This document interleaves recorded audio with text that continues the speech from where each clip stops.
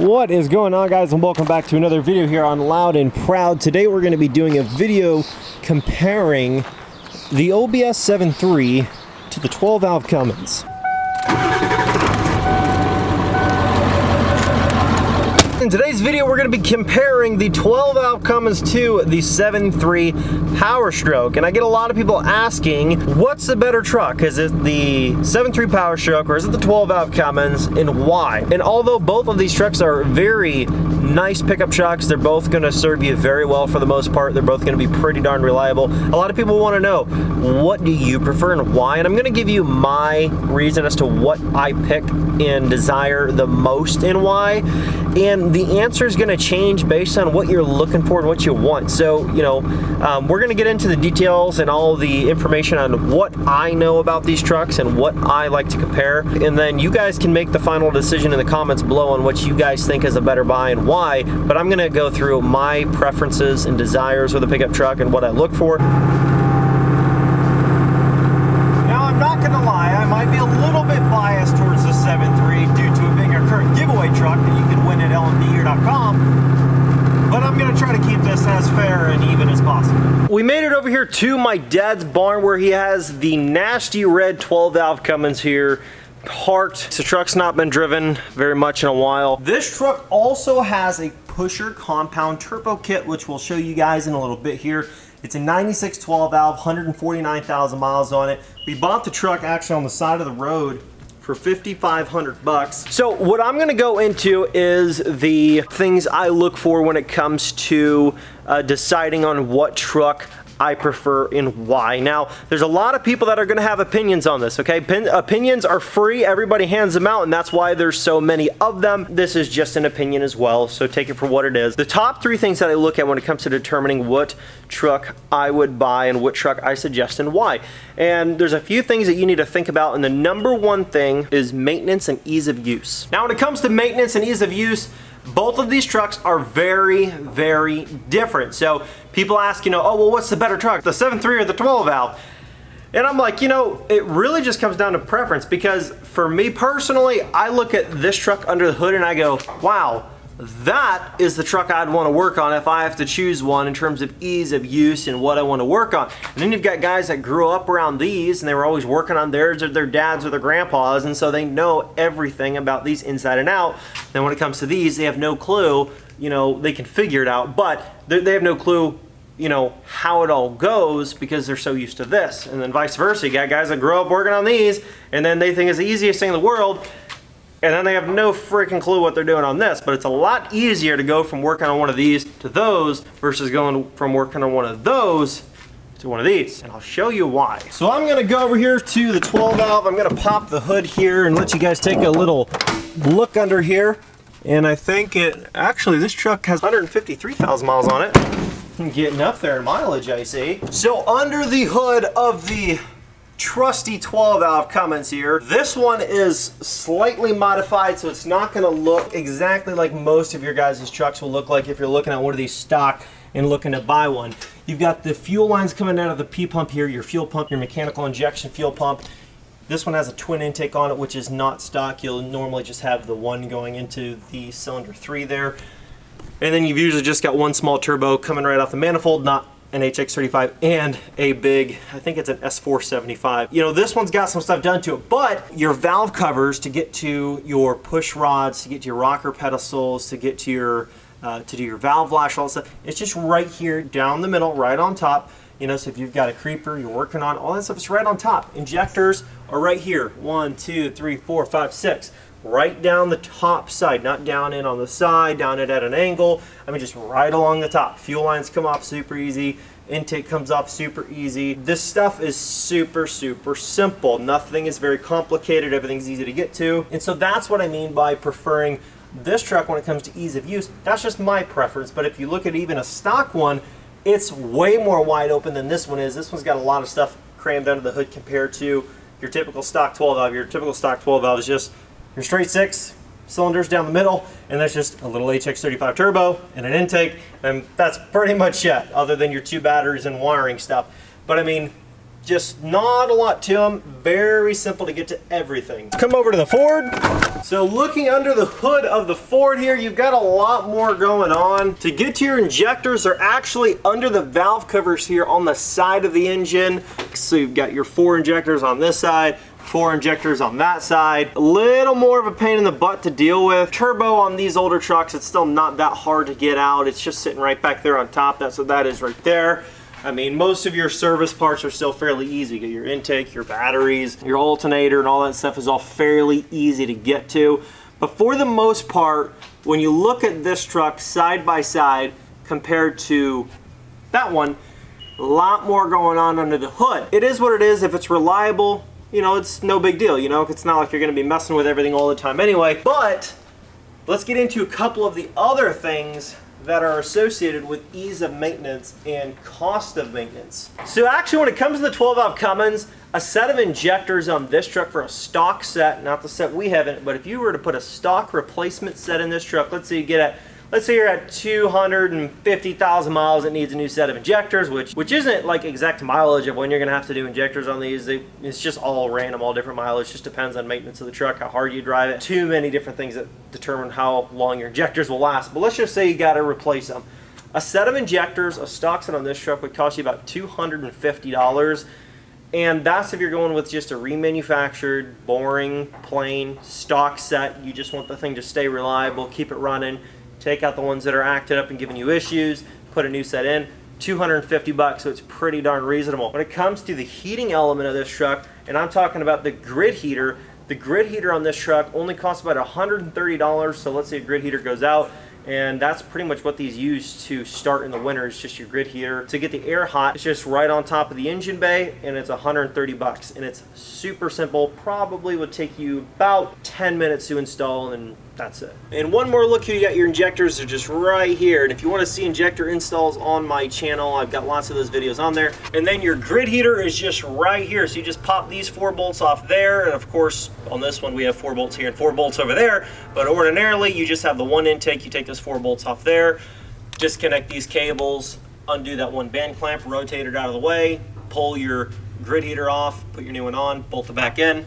and it's that simple. Now coming back over here to the Ford, your set of injectors for a stock set, this is just some stuff that I found on a website when I was looking for where I normally buy my truck parts. I just looked up 12 valve Cummins injectors stock set price I got for that one and this I just same thing I looked up on the same website stock set of 7.3 injectors and this is what it came up with a full set of eight injectors for this truck will run you about $1,280. And this is not including labor and installation unless you're gonna do it yourself.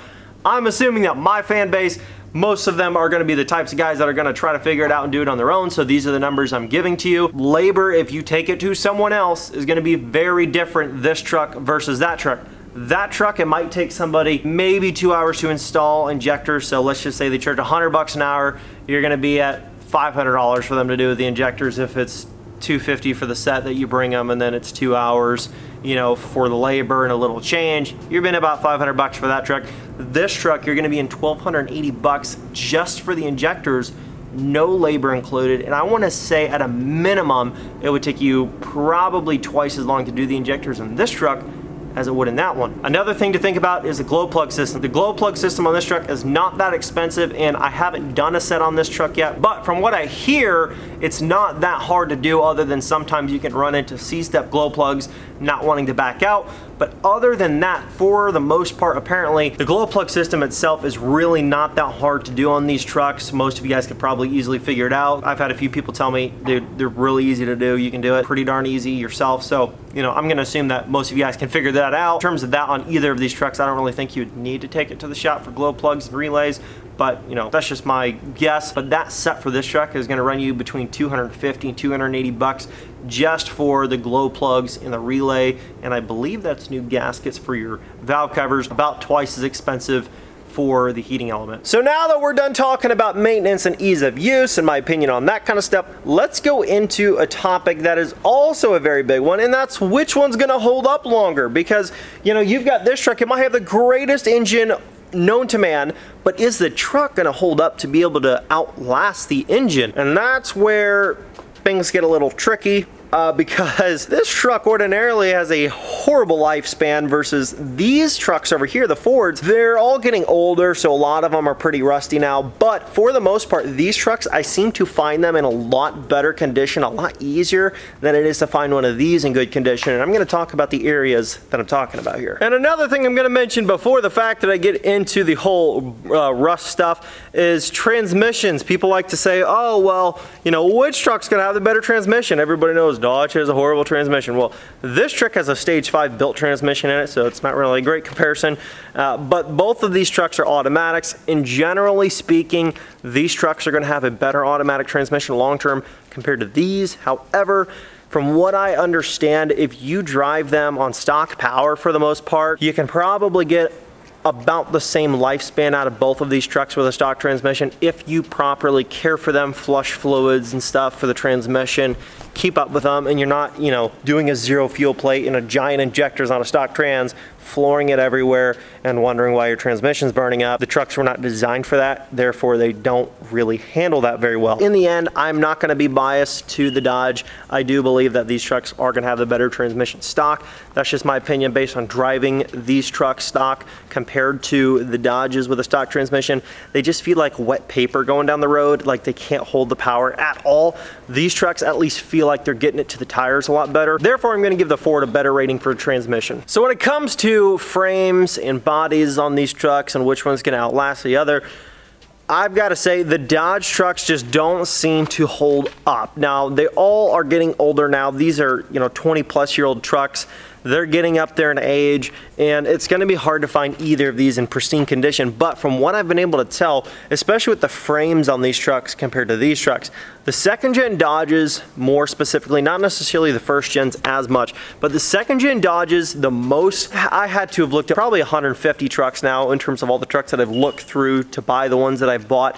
I've looked through tons of trucks. And the ones that have always blown me away by how bad their frames can be is the second gen Dodges. The second gen Dodges have a few places that are notorious for just rotting out very badly. One of those places is right along the fuel tank in between the frame on the outside and the fuel tank. If you look down that edge, put your hands up in there, be careful, but feel around. A lot of times they're just completely rotted out and sometimes there's no bottom section of frame on that portion of the truck. Same with up on the front end under where you would put a plow mount or right around where the bumper mounts up on the front of the truck in that general area up on the ends of the frame there. Notorious for rotting out same with on the inner portion of the tubular portion of that frame on either side of the drive shaft coming off the transmission.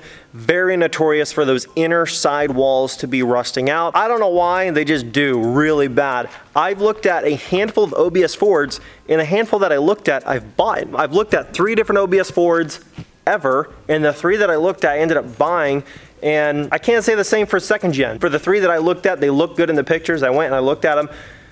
Frames were great, no like big chunks of rust falling off and no big holes anywhere, no nothing like that, no cracks. Second gens, I've looked at probably 40 or 50 second gens and I'm telling you what, most of those I did not buy because frame rot or just horrible body bubbling all over the place. And I mean, I just don't understand it. They seem to just like want to fall apart. You guys know if you've looked at them, it, it is just hard to find a really, really solid second gen. I don't know why they're so bad compared to the Fords, but they just seem to be. And for that, reason, I'm gonna give another point to the Ford because of the ability to hold up longer over the years up here in the Midwest especially. It's just it's really disappointing how many of these trucks are just completely falling apart underneath. On my first diesel I ever bought, I didn't look at the frame because I had no idea. And ever since then, I've always done this first. I didn't look at the frame and there were three different spots on that frame that just had huge holes. And one of them was right up on the back side of an engine mount. And he had put, you know, chicken wire on the frame and putted it all up and bondoed it and all this other stuff so you couldn't see it huge, I mean, big enough to put your arm right through the hole in the frame. I mean, it was a big frame hole. It was really bad. And for our final category, we're gonna talk about reliability. This is a topic I like to talk about because I've been around a bunch of 7.3s and I've been around a lot of 12 valves and I gotta say, they're both extremely reliable trucks. You'd actually never know that I ever liked Fords with my videos now because I just film pretty much mostly 12 valve Cummins stuff, fourth gens and whatever else. Like mostly it's been you know, Cummins stuff. But growing up, there was never a Cummins around. It was always just Ford stuff. My mom had a Ford SUV for a little while there. My dad had a Ford 7.3, it was an 02, he bought it in 2004, and he drove that truck all the way up until 2014 when he bought a 6.7 Power Stroke. Again, he still stayed with Ford stuff, and this was actually the second Dodge he ever bought. He had a first gen that he bought, restored it, and just kind of sat it around, and we ended up giving that one away recently. I bought it off him and gave it away, but for the most part, his daily driver trucks have always been a Ford. The Fords that I've been around, my dad's, it was a white 7.3. That truck had almost 300,000 miles on it when it was totaled out, but the engine still ran great. My sister hit some black ice put in the ditch. They totaled out the truck. They gave him 14 grand for the freaking thing. For all those years, I think he replaced glow plugs, injectors, in the oil cooler. The three mechanical issue things I think he ever replaced on it other than brakes a couple times. But other than that, that truck pretty much was problem free and it was a great truck for all of those years. From personal experience, the 7.3s are super reliable trucks. They're amazing trucks. And a popular thing to do is when the, the 7.3 goes or a 6.0 motor blows or a 6.4 whatever, a popular thing to do is to put a 12 valve in it or some kind of Cummins engine in it just because they're super simple to work on and they fit in anything. So that must say something about the 12 valves. So the 12 valves are also super reliable trucks. You hardly actually, I don't think I've ever heard of somebody taking a Power Stroke motor and putting it in a Dodge. Maybe it's it may have been done, somebody screwing around and having a good time, but I've never heard of that. And for that being said, with all the 12 valves that I've had, I've never had any catastrophic transmission failure ever. I've never had any catastrophic engine failure ever. I've never had that kind of an issue with one of these trucks. For reliability, man, I wanna say the 12 valve is probably the most iconic and the greatest diesel engine that was ever made just because of reliability and the simplicity of it. So it's hard to say, but I will tell you this. I don't think you could really go wrong with either of them. Both of these trucks are phenomenal trucks. They will run very well if you keep up with service and maintenance. They'll treat you right. If you take care of them, they'll take care of you. I don't see any real extreme downsides to either of them other than maybe cost of parts and cost of labor if you're not one of those guys that like to do it yourself. Other than that though, I don't think you can go wrong either way. I hope you guys enjoyed this video video. If you did enjoy this video, please hit that thumbs up. Leave a comment down below and let me know what you thought about it. And also, if you have not done so yet, we're giving away this truck plus $5,000 cash. So if you want to enter to win this 7.3 Power Stroke plus 5 grand, all you've got to do is this. Go to our website, lnpgear.com, Buy anything you like on the store. You can buy a hat like this, a shirt like this. We sell socks and coats and freaking fireproof shop coveralls. We sell all kinds of stuff. So if you want to get in on that, you can buy anything you like on the store. And as soon as you check out, you're automatically entered to win. And I had somebody ask me, can I enter in multiple entry periods and will I still be able to get credit for all those entries? Yes. So if you order entries in the 20x entry period that we started off with, or the 10x, or the 5x, or 1x, or whatever, all those entries are added up to your total overall entries. Even if you get 20x here, 10x here, 5x here, and so on, all those entries get added up to one total number of entries. And so yes, you get credit for every order you place. There is one thing you need to keep in mind though. If you place orders for previous giveaways, that does not get you entered in for current giveaways. You have to place an order once the new giveaways start to be entered into that giveaway. You know, we don't take entries from previous giveaways and go, oh, you're entered into the new one automatically. That's not how it works. So you do have to enter in on the current giveaway to get entries for it. So let me know down in the comment section below, guys, which truck do you think is the most reliable and why? And I will catch you guys in the next video. Peace.